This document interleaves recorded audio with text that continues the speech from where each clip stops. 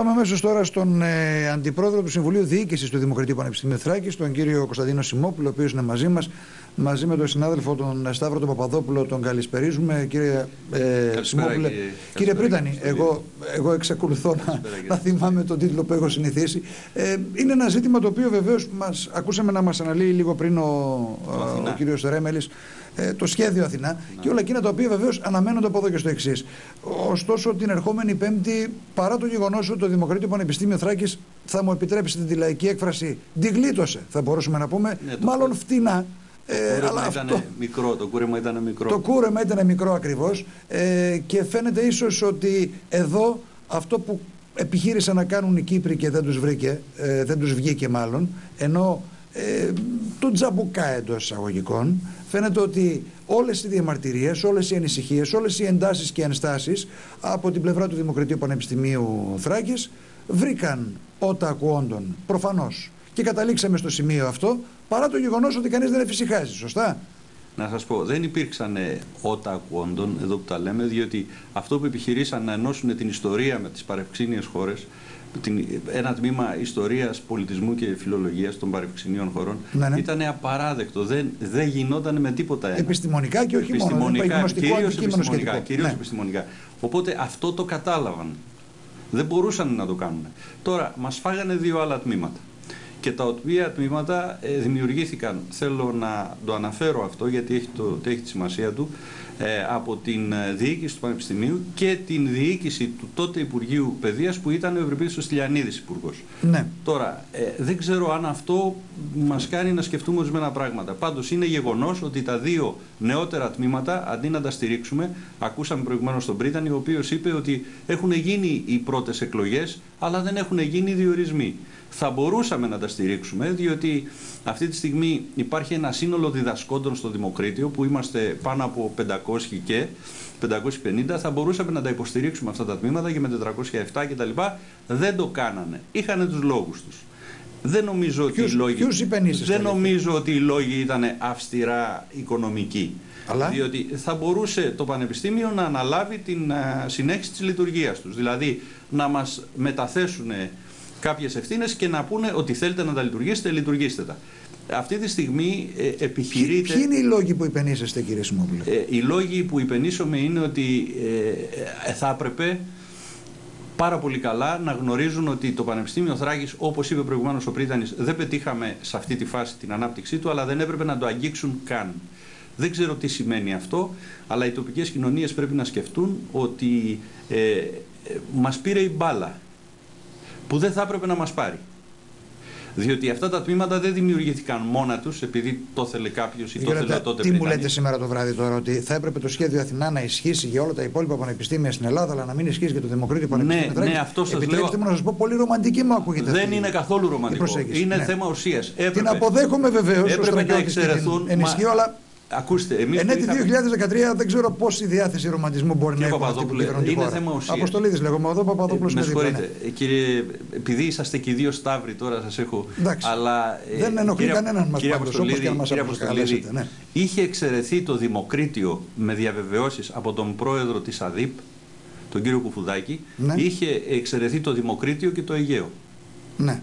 Λοιπόν, αυτό ξαφνικά που είχαμε τις διαβεβαιώσεις ότι δεν θα πειραχτούν αυτά τα δύο πανεπιστήμια, πειράχτηκαν. Καταλάβατε; Ε, και θέλω να δω τι κρύβεται από πίσω. Διότι δεν είναι δυνατόν στα πλαίσια της ισονομίας και ισοπολιτείας και πειράχτηκαν όλοι, άρα θα πειραχτείτε κι εσείς. Εδώ, ειλικρινώς, αυτό το πείραγμα θα στοιχήσει, θα μετρήσει. Ωστόσο και το όφελος στο οικονομικό υπάρχει, θα προκύψει. Εφόσον οι σακτέοι πλέον δεν θα είναι 200 ε, και 200 θα είναι μόνο η μισή. Δηλαδή θα μπουν όπως μπαίνουν κάθε φορά σε ένα τμήμα. Κοιτάξτε, Άρα λοιπόν θα έχουμε λιγότερους ε, ναι, Έτσι είναι όπως το λέτε, θα έχουμε λιγότερο κόστος κτλ. κτλ. Θα μπούμε σε λογικές συρρήκνωσης. Τώρα, ε, εάν δούμε και γύρω μας και δούμε ότι μπορεί αύριο να έρθει ένα Αθηνά 2, θα μπορεί να πει το Αθηνά 2, άντε κόβω άλλα τέσσερα τμήματα.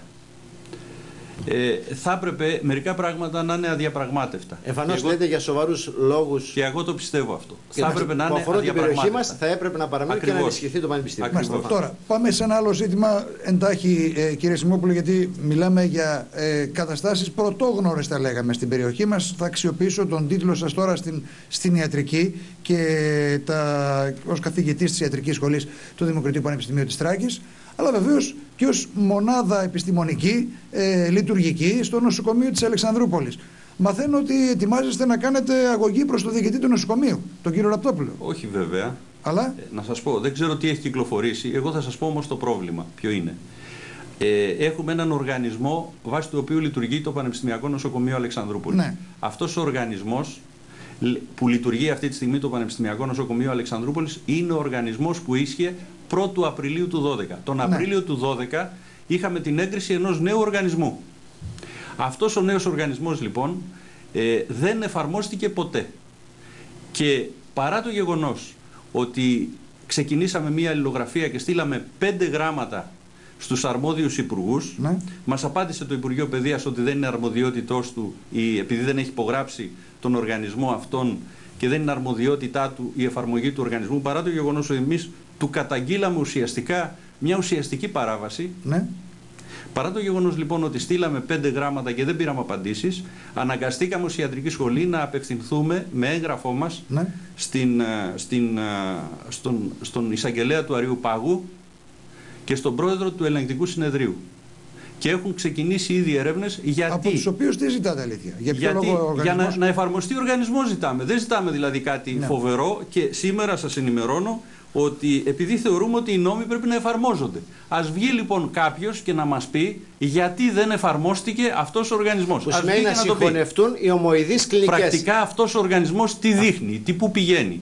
Πηγαίνει στην ουσιαστική συλλειτουργία και συγχώνευση των ομοειδών κλινικών.